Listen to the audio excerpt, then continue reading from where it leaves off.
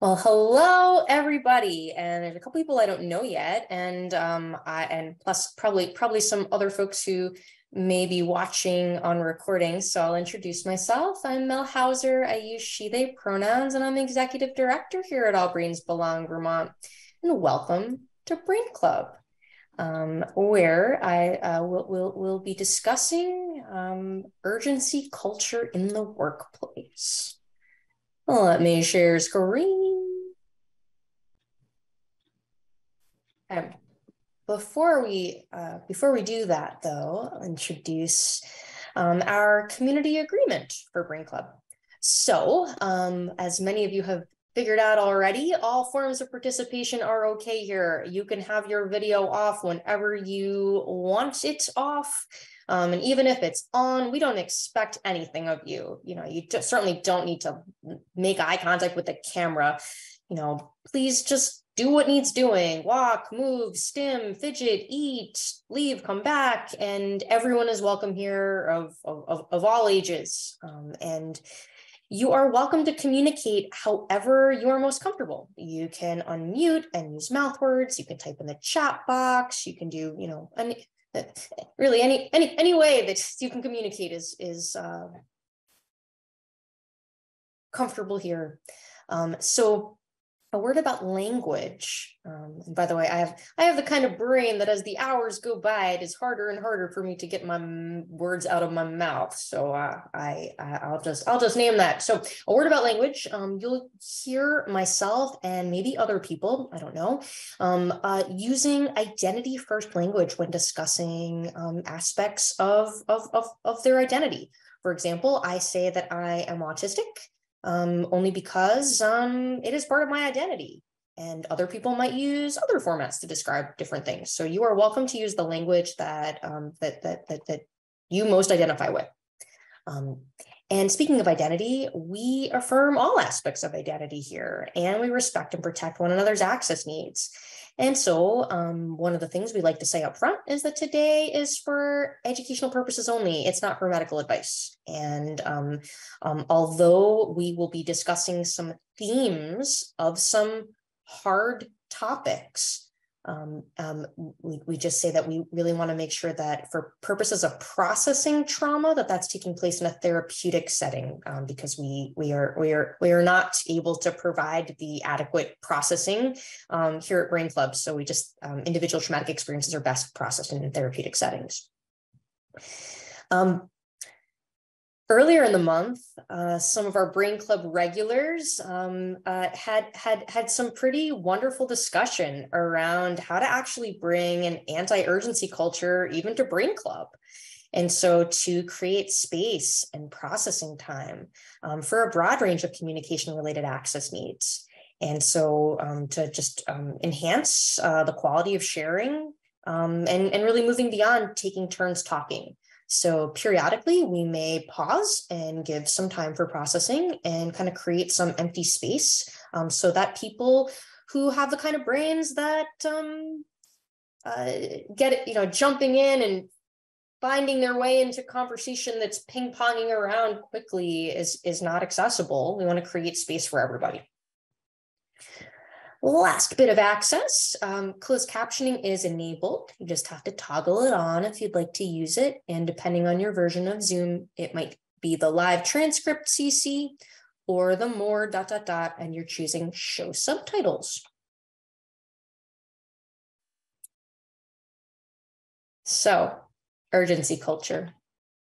Sorry, too many windows popping up. There we go. So um, for the for for for some of you who've been part of the last couple of weeks talking about this topic, um, I uh, included some excerpts from my new favorite book, um, "Parenting for Social Justice," written by um, a group of Vermont authors.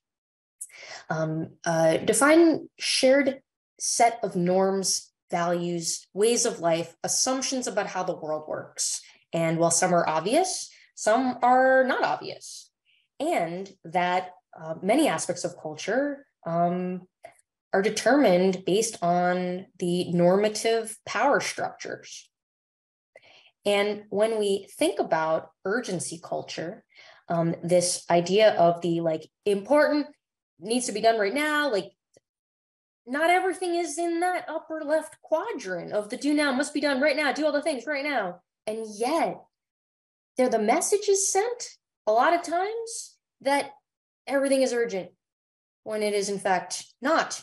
Um, and those that that that chronic set of in, in exaggerated urgency um, is is is really stressful, and we know that stress um, it, it can be toxic, toxic and harmful for health. So and that's why we began this conversation. Um, and so again, as I said, urgent matters, things requiring immediate attention, things popping up, demanding your attention, you know, but but while urgent tasks are unavoidable, um, spending too much in that state is is is not healthy. So um, the two weeks ago, we talked about this um, in, in in terms of like home culture, and then uh, last week we had a community panel talking about their experiences of urgency culture in everyday life and um, some of the messaging that that that that that has led to that that people grow up with. And when we think about, um, uh, and, and, and, we often use this term of niche construction, which is uh, Thomas Armstrong's term to describe building a life that works for your brain. Um, part of niche construction um, is um, thinking about how are we in, in establishing neuro-inclusive norms. And um, this was our community advisory board. So All Brains Belong has a community advisory board that informs all of our programs. And so um, our uh, in the spring, our advisory board spoke about access and exploring access needs, talking about access needs, negotiating access needs, communicating your access needs. So, what is an access need? Anything required to meaningfully and fully participate in one's environment or community. And everyone has access needs, you know, people of, with all types of brains. And when we think about um, whether this is in the physical environment, technology, um, and in this the, the, emotional communication, social spheres, um, you can see where um, there's a lot of subtlety that goes into this for an individual having their access needs met. And when we think about how this how this plays out in the workplace, there are a lot of people who don't have their access needs met at work. And what we don't want we don't want the square peg, peg being hammered to fit into the round hole because what happens? You break the peg. And so when we think about neuro-inclusive employment, um, and by the way, um, uh, Brains Belong has a neuro-inclusive employment bright spotting program where Vermonters can nominate their employers um, who are creating environments where people with all types of brains can thrive. Um, there's there's there are some threads. We've been running this program for a little over a year now, and the threads that have come up are um, and they match what's in the literature. Um, things about the physical environment, communication styles and supervision style, workplace culture, meaningful work, flexibility in choices, autonomy, individualization, and like zooming out and looking at the workflows and routines and kind of stomping out the defaults. Because anytime you have a default, everyone else's brain who does the thing differently is othered. But today we're going to be focusing on workplace culture um, and we'll be joined by um, a, an asynchronous panel of community members, including um, someone from one of our winter 2023 neuro-inclusive employment bright spots. Um, and we're going to collect, we're going to connect these concepts of, of culture to a zoomed out um, bigger picture. Because part of creating um, just equitable workplaces is in looking at the the frameworks right? And that we're avoiding not only are we like actively um, naming and working to uh, work against bias but we're also avoiding supporting systems that perpetuate unjust systems and when viewed through a social justice framework, we want workplaces, we want societies, communities where all people have their needs met, have autonomy and decision making power, are safe, are treated with dignity and respect, and are able to develop their full potential. When, and, and, and, and, and when we think about urgency culture, urgency culture is rooted in so many power systems that are not just. And when we think about, um, back to that a second, when we think about capitalism, um, where people's, you know, and, and, and the messages where people's value is, de- is based on what they produce, not who they are. And when we think about, you know, all, you know, like, you know, all the isms, racism, colonialism, classism, ableism, all of it. Um, when it when it was first brought to my attention that urgency culture can be uh, viewed through the lens of, of perpetuating oppression, once I saw that, gosh, that made it a lot easier to want to distance from it. And so, one of the things that has come up um, in in in in bring the brain club conversations around this um, over the over the past couple of weeks was that like oh wow I never thought of it that way. Oh wow now I'm thinking about it that way. Anyway so so um uh, uh maybe it was last month um, I attended um, the Vermont uh, um, businesses for social responsibility um, uh, quarterly um, uh, justice, equity, diversity, and inclusion um, uh, circle. Um, and um, several the, the, urgency culture topic came up. Um, and we talked about this in the context of, of neuro-inclusive employment. And um, what came out of that was a, a, several people who wanted to wanted to come and talk about this in Brain Club. And so um, very very excited to um, introduce today's asynchronous panelists uh, who were um, kind enough to, uh, to, to uh, share their time with us. We did some pre-recorded interviews and edited them and put them all together, and we'll play that video in a second. Um, Tegan Kopler um, is a project associate at Encore uh, Renewable Energy Systems. Kelly Putnam is the Director of People and Purpose for Lawson's Finest Liquids, who is um, the uh, Lawson's is one of our um, winter 2023 neuro-inclusive employment bright spots. And Matthew LaFleur, who is a disability advocate and a member of our community advisory board here at All Brains Belong. And so with that, um, Lizzie, would you be able to share screen and play our video? And this video will run about 20 minutes and I'll be facilitating the chat as we're watching so we can keep the conversation going and then we'll have plenty of time for discussion afterwards.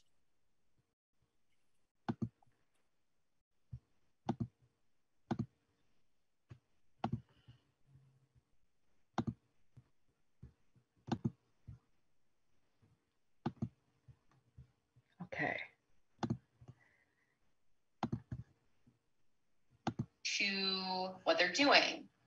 And yet, I rarely hear about urgency culture, a you know, a focus on productivity and efficiency and you know, like that stuff. It is the opposite of dismantling power systems. Yeah. So, what do you think of that?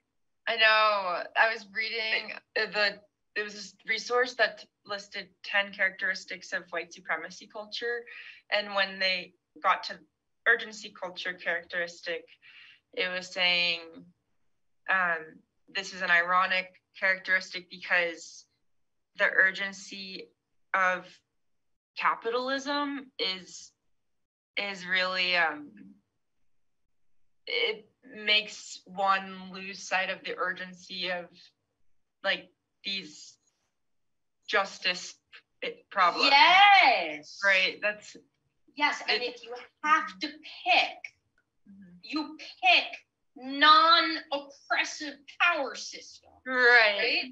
Right. And what kind of blows my mind is that so how do you be urgent in the yeah, the non-oppressive power system. Like yeah. and how do you urgently fight for you know justice and know, all the senses because they're all connected when working you know 24 hours a day isn't that's not the way you, yeah you can't eh, to to do to do the work you have to take the breaks and you have to go for the walk and look at a tree and enjoy the world around you and then sit down and have a hard talk with your neighbor or read a book or whatever it is or show up at a there's so many ways to do the to to, to work for good. And so it's how to and then this is the part that we talked about the other week and that you brought up is like how do you do that in a work setting where you so like my company in solar like we are making renewable energy projects and, that's so important for fighting climate change and bringing clean energy to communities.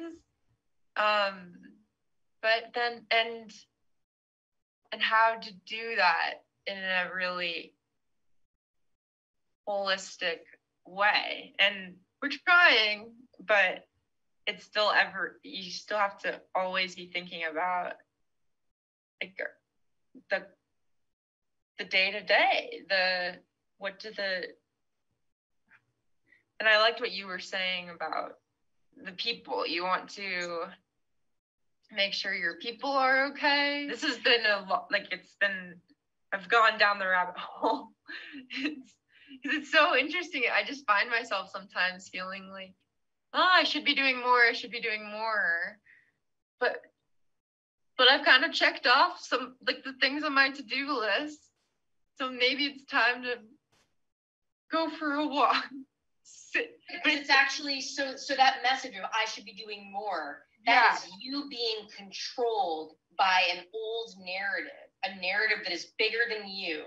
Um, it's these assumptions that many of us have grown up with about you should be doing the thing at all times what you need to be productive because that because your value comes from how productive you are that's the message that so many of us grew up with right so many and and even when I've tried to really kind of um i i they, i noticed bringing that lens of like being productive into the way i then try and rest or yeah um i personally um if someone says something like, you know, I'm concerned you're doing all the things, you know, what are, what are you doing for self care? Like, I find the term self care like so infuriating. Yeah. Because of like, like, like, because often what people mean by that is that, like, that there is a right way to do self care. It's the things from the list, right? Whatever. And like, checking them off. I don't know. I think like part of my self care is, I mean, I hate that word, um, but like part of taking care of myself um, is to like have conversations about things that are meaningful and yeah. authentic and like, I don't know, maybe make some kind of impact to make the world a little better because um, I just like, it's interesting. Like, so I have a six year old and like we talk about power systems all the time. And even if we're watching a cartoon, I'll be like, power over and so like she has that framework about how like power over is bad. Um, and it's bad all the time. Yeah. Um, and you know, you certainly, you know, power over different from like power of connection, power of influence, power of knowledge and expertise, like just all the different powers. Um, and power over is not is is not healthy for individuals or communities. Right. Right. Right. However, right. And and how much right thinking about I think about the individual because I, I maybe am the communities I'm in aren't um I think I think about this a lot as an at an individual level and how um, trying to yeah have power over myself almost. Mm, autonomy. Like, power over self is autonomy. autonomy. and you know you need autonomy. Um, and, and and and and there are so many people for whom autonomy is an access need. If you don't have autonomy you're not regulated. You're then don't have full access to your brain um, because it's not safe. Um, like and, and and this is you know different for different people with different brains, but like I have the kind of brain that when when I when I am recognizing power over or an attempt at power over, I'm like, oh, unsafe bucket. Like I gotta leave this environment. And there's so many workplaces that like people don't have autonomy. Right, right. To say what they need and what they yeah, what they need. And, And they don't know what they need. they don't know what they They've not been told they get to have needs. they get to have needs. Because you just got to do the thing. Because that's what we do. That, that's what we do here. because I think that even in a culture, like I, I do feel like my work culture is pretty, um, pretty good at the flexibility that you need to like get your work done. But it's so hard at, on an individual level to really, and I think this might be because I'm new to the workforce and, um, um, and I think this is definitely like linked to perfectionism which is another It's characteristic of part, it's part of the system. All of it. Yeah. Uh huh. right so how to how to really kind of um follow through with and so not maybe this i'm bringing personal things to it as well but like not feel bad about it Right. how do you. Yeah. So like I know as a like I I I I honestly like I've never actually used this term. Like I identify as a recovered perfectionist. okay Like um, which is so I don't think like I mean that's kind of a new thing that I think that I might claim that term um, because I became a good enough it's good enough person um, like like when I became a parent after like it, it was like life circumstances being like no you have a finite capacity. Like I never thought I had I thought I could just keep doing and doing and doing and like just something had to give. And so anyway, um and, and and for me professionally, like my progress notes, they're they're not they're like bare minimum to be, you know, check the box. Um, but but they're they're good enough. And so like, you know, it's it's really important for me as a parent that my child not struggle with perfectionism in the way that I have struggled with perfectionism most of my life. Um, so like I am actively anti-perfectionism training. Just like I want from a from a social justice lens, like the way that we would be anti-racism and anti-ableism and anti-classism and anti-ageism and like all of it. I'd like, I mean, I, I've started thinking about like anti-urgency culture, um, and and and anti perfectionism and anti you know like all of it. And so i think i think this is just part of it. So you as a recovering as a, as a recovering uh, you know early in the process of recovering perfectionism um, i gotta hop to another meeting but um, but you you know you, you come to this culture you're new and no one has explicitly named for you that this is a good enough culture if in fact it is. So like i find it you know in a position of leadership i find it really important that i name for my staff this is a good enough place. This is a good enough culture. Um, we are looking to be actively anti-perfectionism here.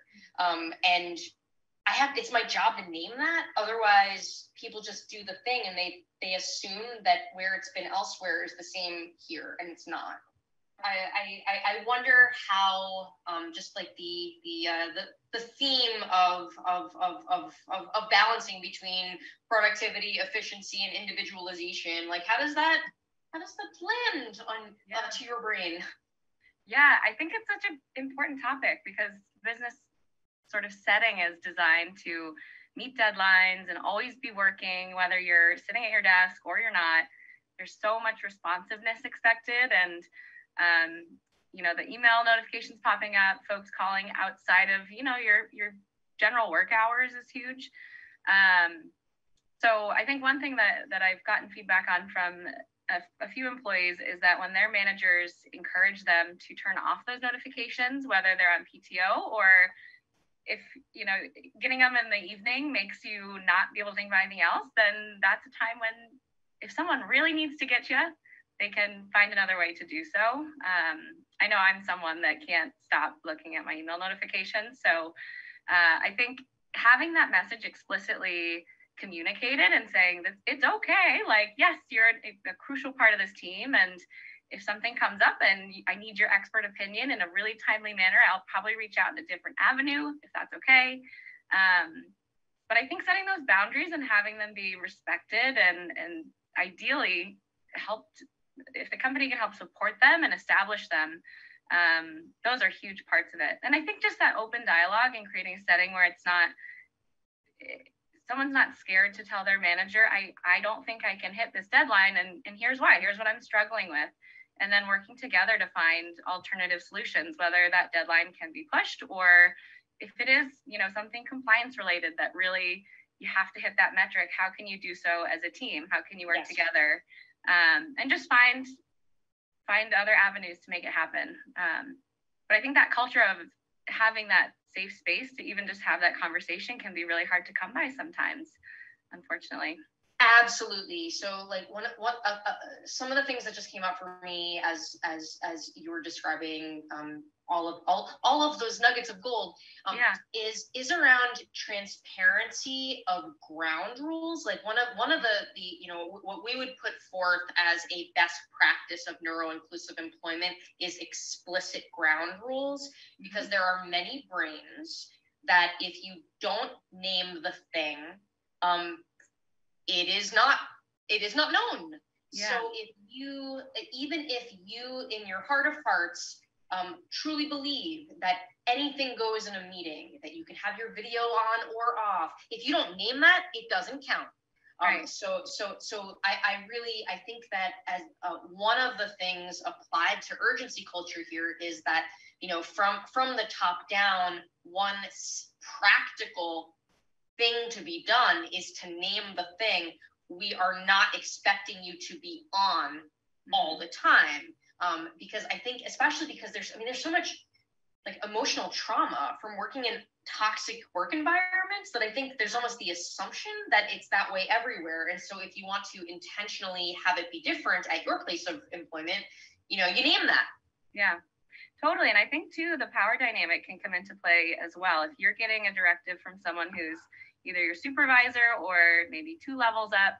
Those are really hard situations to be put in and feel comfortable standing your ground or, or honoring your boundaries and expectations. So I think anytime that that could be set from above and modeled, even more importantly, yes. um, is really the ideal scenario because it is, it's tough. It's really tough. It is. It is. And if you think about, you know, like uh, urgency culture in, in, in, in, many might say is rooted in capitalism is rooted in like oppressive power structures and part of the demand of being you know you know is of being on all the time is a power over dynamic and so yeah. in, if, if if it's if if there is an imbalance in power dynamic i think the responsibility falls to the person who has more social capital is in a place of super, you know, supervisors. But it's it's it's your responsibility to name sure of of like I am not expecting this of you. It is normal to in fact leave work,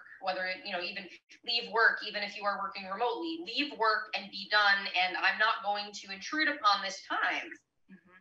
Yeah, I think I think having structures built in so there are ways to safely call out those uh, sort of incongruous moments would be essential. Yeah. One, one practice we found really effective here is just to, I conduct stay interviews. Um, so you may have heard of exit interviews when you're chatting with an employee and they're on their way out.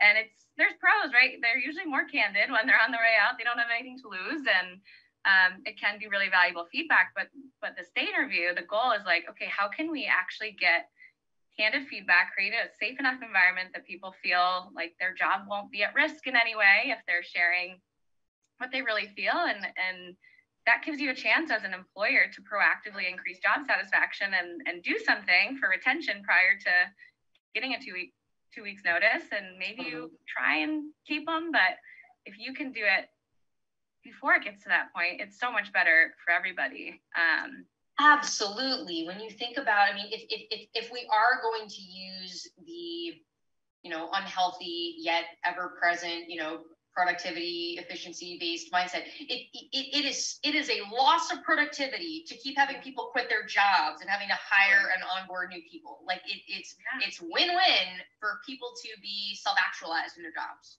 mm-hmm. when you zoom out and you think about all the systems of oppression um, and that like the the the the idea that the pressure to do the thing all the time is is because like people get the message that value comes from what you do and what you produce. And I think that's gross. What do you think? It is. It's, you know, it's about, uh, like you, you said it right. You hit the nail on the head.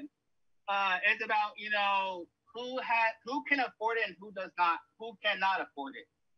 And, you know, with, you know, racial and discrimination that's, you know, that we see across Vermont, and in our schools and just our walk of life, you know, in Vermont. It's just like it, it seems to be like you know we're being divided against people of color, non-people of color, of how to you know interact with each other. But the way I look at it is, you know, if I can be more more over empowerment empowerment over the other individual, then that makes me feel good.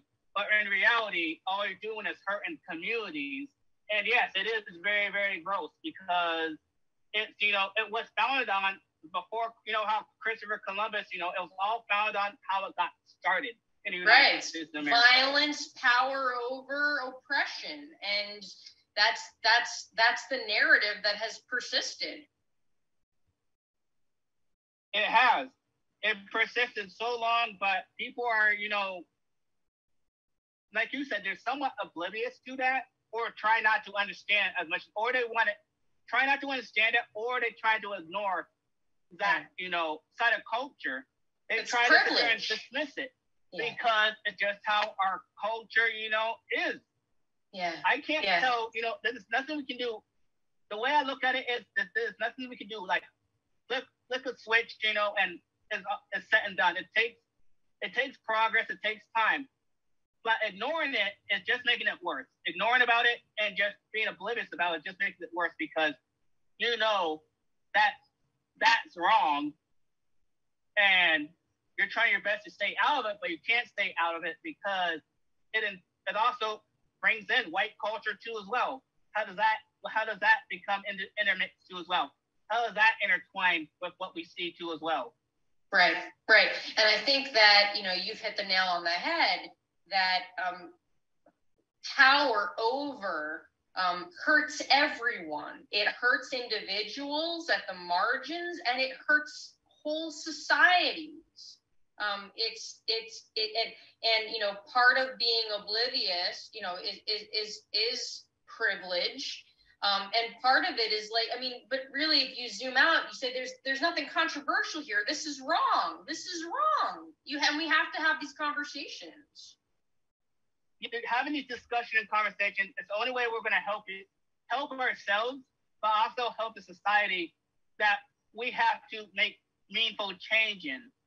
Yeah. Basically, yeah. we ha- the only way change is going to happen if we discuss about and have that conversation sit down and have those mean we, we can't ignore it. We can't sit there and, you know, try to evade those conversations because, you know, yes, it's in our culture. And with me, it's just, you know, may I be that voice? Do I want to be that voice? Do I think I have the courage to be that voice for others to say, this is wrong. We need to move past this. I mean, keep our culture intact, but need to move past the rhetoric, the uh, the ableism, the discrimination, the racism of what are we're living in the past. Literally, we're living in 19, 1900 and we should move past that. Yeah. There's no long race, racism and hate has no place here. Literally, not in society, and definitely not in Vermont. Amen. you know, I really, I, I, I, when I do my editing, I'm gonna really make sure that, and we've been so, so, uh, the last couple weeks at Brain Club, we've been talking about oppression, um, and I, I like so the setting's been really set to get people thinking about the aspects of day-to-day culture that are actually rooted in racism and capitalism and ableism and classism and all of the isms um, and there's no place for that here. And so we got to be talking about this. So I think that you know it, it, we're we're trying to get people to zoom out and say, you know, what am I doing that is actually perpetuating power over, even if it's not, you know, they wouldn't identify it as racism, but it is because power over is is is it's all the same. If it's going, that's correct. If it's going against you, it's already discrimination. One of the things that I'm hoping that people take away from this conversation is that I think to connect urgency culture in the day to day with a social justice framework, because once you see it, you cannot unsee it.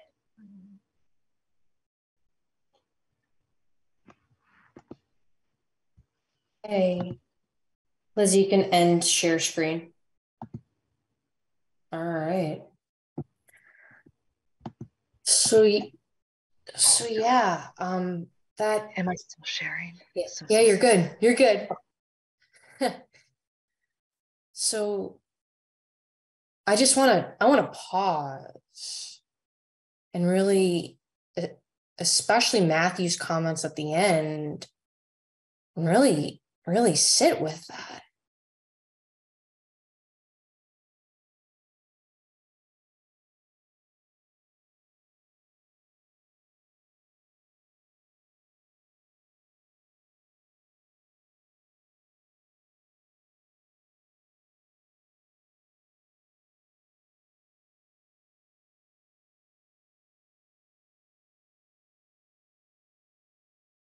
If we're saying that messages of power over are hurtful to individuals and communities, and if we're saying that there are routines and practices that are normative and that the prioritization of productivity and efficiency is rooted in the rooted in the messages that are harmful.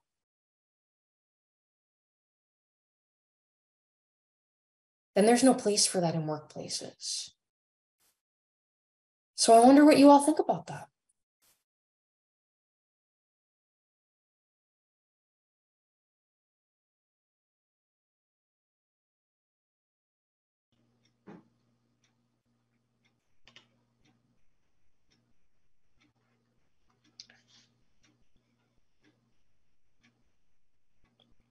Um, this is Jana. I'm staying off camera. Um, so I was just going to say that, you know, I work at UVM at uh, the library and our culture is not terrible. You know, I don't have an oppressive boss, but I'm oppressed by, as I was mentioning earlier, by emails and and just I'm just inundated by junk information that I don't need in my brain. But um, what occurred to me just now is if we could change the culture of supervising from supervising people to supervising the work. so our bosses, so to speak, are not in charge of us. They are in charge of making sure that the work gets done. So there's probably a better approach to supervising going forward if your your your approach is okay what do we need to do to get this project done as opposed to why isn't so and so here to do their job? So yeah supervising things not people. I love that shana i think that is so important. Um, and John and Jessica are agreeing. Um, love that Shauna is supervising the work, not the people. That requires a culture of trust, they say. And Sierra says bosses should be in charge of advocating for their employees to have their access needs met. Right. Mm. So the people have their access needs met and the work first off, the work comes secondary to right. the priority of the people having their access needs met. And guess what? More work's actually going to get done. The, just on the way home this afternoon, I, uh, there was a quick NPR uh, interview that I just caught the, the, the very last bit of, and the gentleman was saying how certain European countries are looking at a four-day week because they're learning that less is more. People are more productive when they're not made to just come into work for the sake of punching the clock or for the sake of the work week or whatever. So so much needs to get, get changed. So it, it, like I said earlier, it's going to take several generations for all of this to sink in. Yes, absolutely. I wonder um, how how this um, you know this is landing for other people. And feel free to use the chat or unmute.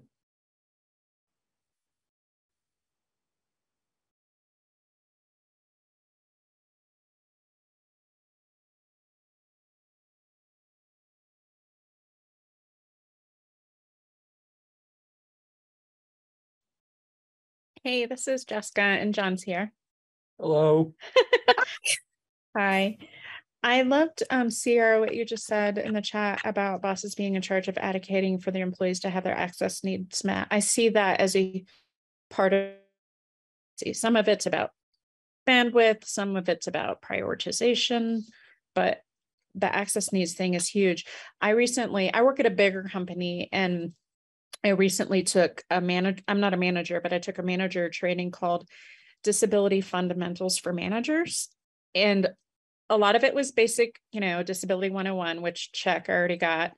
But also a lot of it was like literally like, how do you deal with an employee disclosing and what's the proper way to do that? It was very good training, actually. I was a little surprised. It was third party through, I think, disability colon in, which you may be familiar with as an advocacy organization.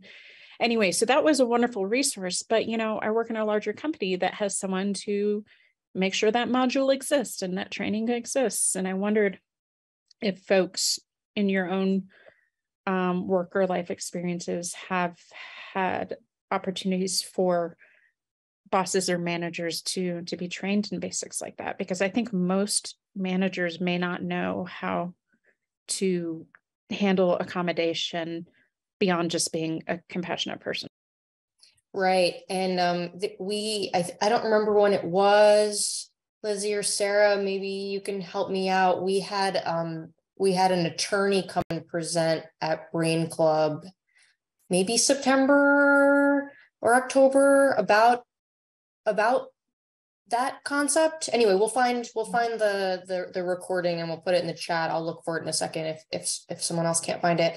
Um the other thing i'll mention is like when so brains belong does neuro inclusive employment trainings.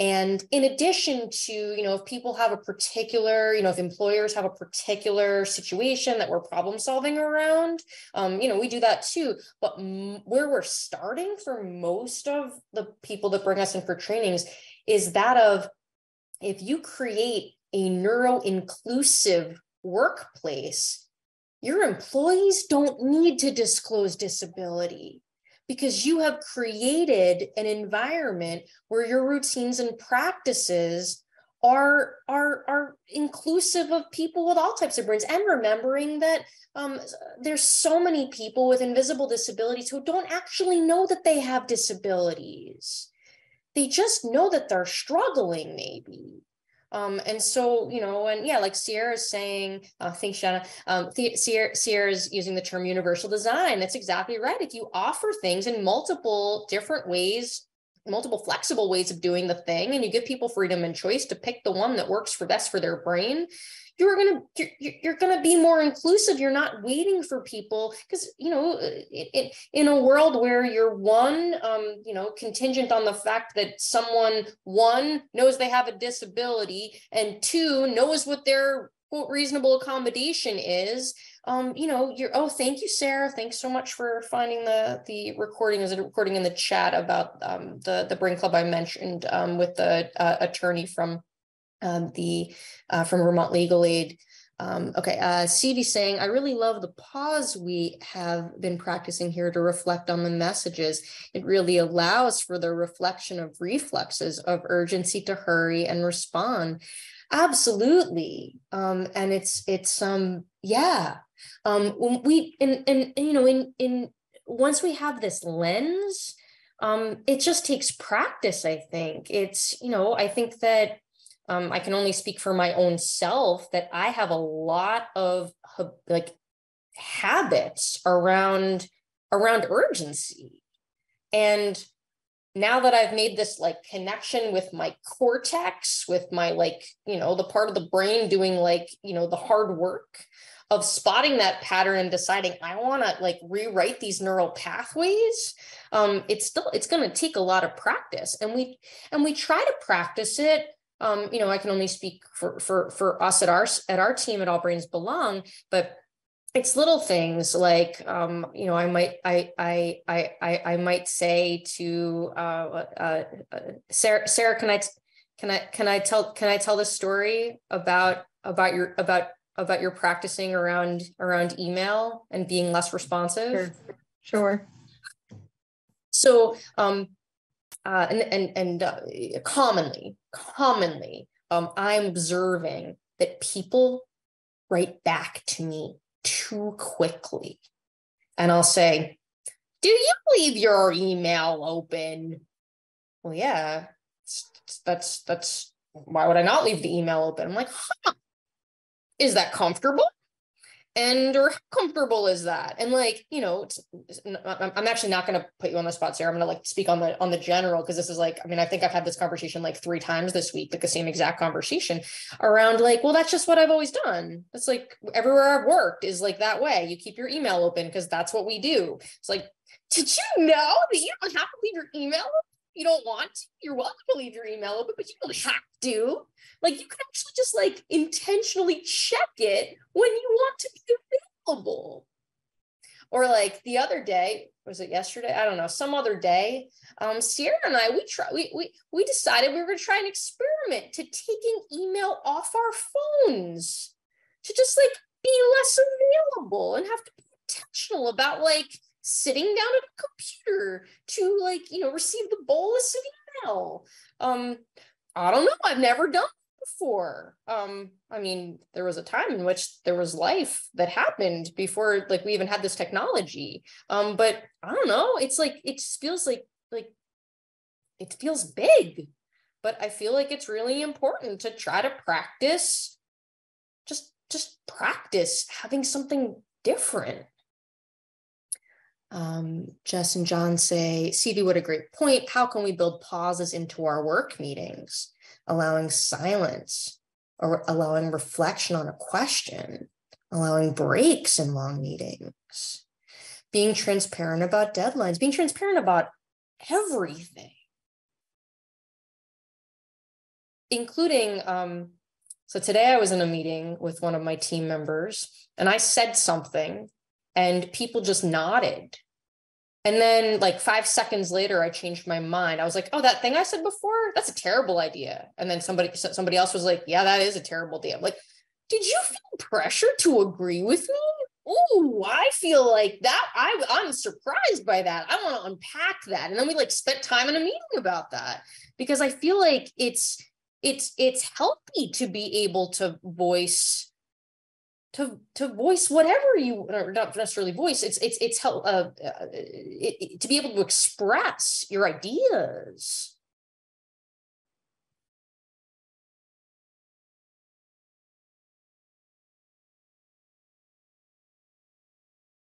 Um, and i i the the the other the other thing is so so, um, so something else that um, Kelly Putnam, our panelist, spoke about that didn't make it into this clipping. Um, we'll, we'll we'll use it in a different brain club. Um, is actually uh, Tegan also talked about this about modeling, and so like really when you have imbalanced power dynamics, it's really important for um, you know the the the the, the person with you know whether you're going to say like more social capital or like in just leadership positions like it's really important um to like not put the onus on on someone who is being supervised to like s- stick up and and say like no i need a change right? Because that's that's not that's not okay. Sierra? Yeah, I um I think I've been practicing trying to um model this in patient visits, but also in like interactions with everybody of like, hey, do you want to think about this and get back to me tomorrow? Because that's my favorite phrase to use is yeah, let me think about it and I'll get back to you tomorrow. And offering that to people and being like, oh, I didn't realize that I could not make a decision about which medication to try at this visit, or I didn't realize I could wait and reply tomorrow about whether or not we get together this weekend. Um, people just don't realize that a lot, and it can be really easy to just have that script and put it in everywhere. yeah it's just it's modeling Um, David says, I can't imagine most of the organizations I worked for ever embracing most of these ideas because they're far too big and bureaucratic. I wonder what I might have done um, if I'd fully realized what alternatives could have been. Imagine knowing and respecting one's access needs. Yeah, yeah, absolutely. And again, it's all about the delivery. Like we talk about things more directly, I think, at Brain Club than we do. Like if I'm doing an employment training, like I'm not typically this direct it's like very oblique angle um in terms of like if we're, if we're really thinking about how we have this epidemic of employers that can't fill positions and can't keep people in positions um, and we're saying that one in five people have brains that learn think and communicate differently than the so-called typical brain even though that's not really a thing um, but like there's a lot of people whose access needs are you know, far more likely to be unmet. And like, I don't know, seems like the way you're doing it's not really working society. Um like that's that's the angle i'm typically taking of like oh that's interesting. Or if if it i mean anyway that's there's just any any number of other ways of going at this other than like the thing you've always done it's wrong Um, Sarah says, um, especially when there's an imbalance of power, it feels like an answer must be produced on the spot versus taking time to think about something.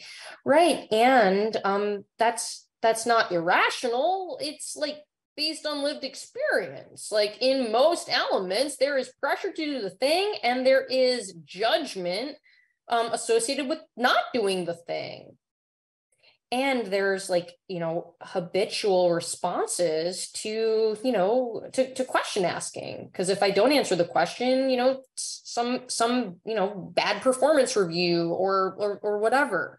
Um, and that's that's what we talked about two weeks ago at brain club um, is is is around the internalized ableism um, that that and how urgency culture connects to internalized ableism um, and uh, Lizzie, can you find the recording for that to put in the chat from from uh, February 7th, if you can find it, otherwise it's fine. Cool.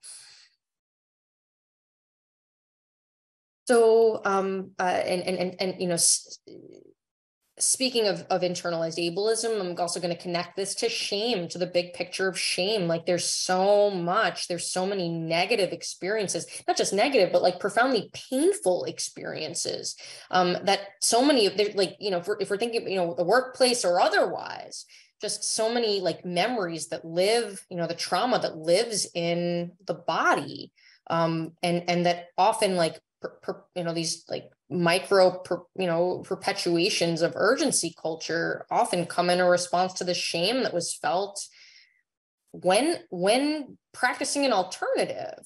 Um, and so I'll, I'll, I'll cut, I, I, I, I, I say this to introduce the topic for next week's Brain Club. So it's our first Brain Club book chat. You do not need to have read the book, um, but we're going to be talking about the themes from the book. I thought it was just me, but it isn't by Brene Brown, talking about shame um, and the, um, you know, identifying the experience of shame um, and connecting it to the you know the bigger system the bigger picture of the you know the framework the sociocultural framework that drives some of these things and those messages that get you know um just uh you know laid down like these neural pathways that get get laid down as young children um about a you know about what's what's normal.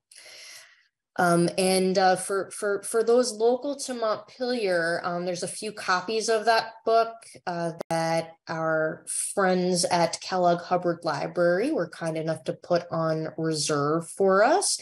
And um, and and uh, at Bear Pond Books, they have a couple of copies in stock that they ordered for us here in Montpelier. Um, and again, if you haven't read the book, please come anyway. Um, so that with that thank you all so much for coming and uh, we'll see you we hope to see you next week bye everybody